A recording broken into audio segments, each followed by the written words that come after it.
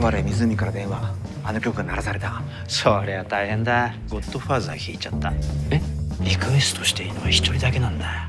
銀座で一番偉い人。久保の会長いらっしゃいませ。その指全部切り落とされちゃうよ。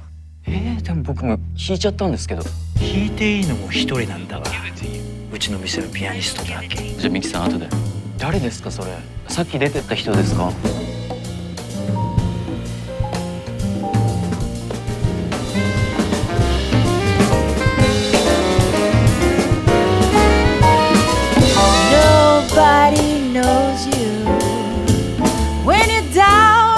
あいつ出てきたの知ってる？あいつってあいつか？ってことはゴッドファーザー鳴らしたの？もあの曲が聴きてえだけなの。あの曲は誰の曲なんだ？